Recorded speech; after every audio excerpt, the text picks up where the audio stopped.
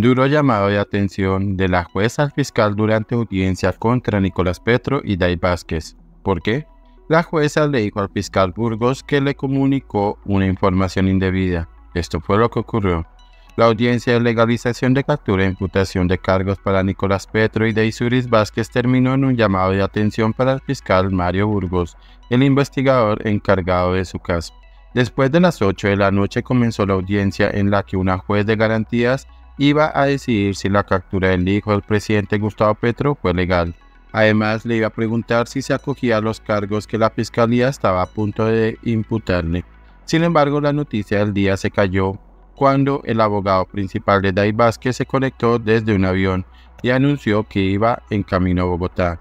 Estaba en Barranquilla donde se encuentra su firma y donde estaba Daisuris Vázquez al momento de ser capturada. El defensor le pidió a la jueza no adelantar la diligencia porque había comunicado que iba a estar presencialmente, pero en ese momento no lo estaba, sino que llegaba a eso de las 11 de la noche.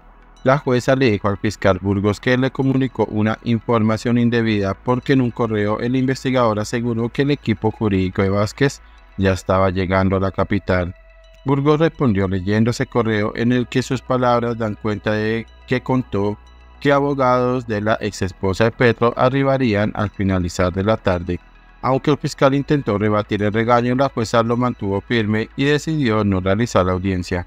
En ese sentido, le remitió los documentos del caso a Mario Burgos para que vuelva a radicar la solicitud cuando todo el equipo técnico estuviese presente.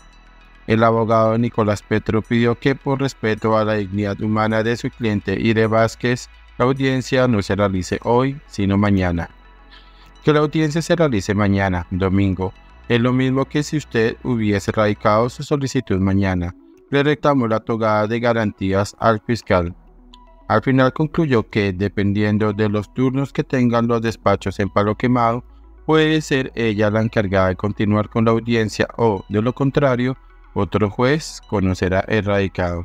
El fiscal Mario Burgos reprochó que no se hubiese aprovechado la virtualidad para adelantar la diligencia, incluso cuando fue la fiscalía la que detuvo a Petro y Vázquez y decidió llevarlos a la capital del país.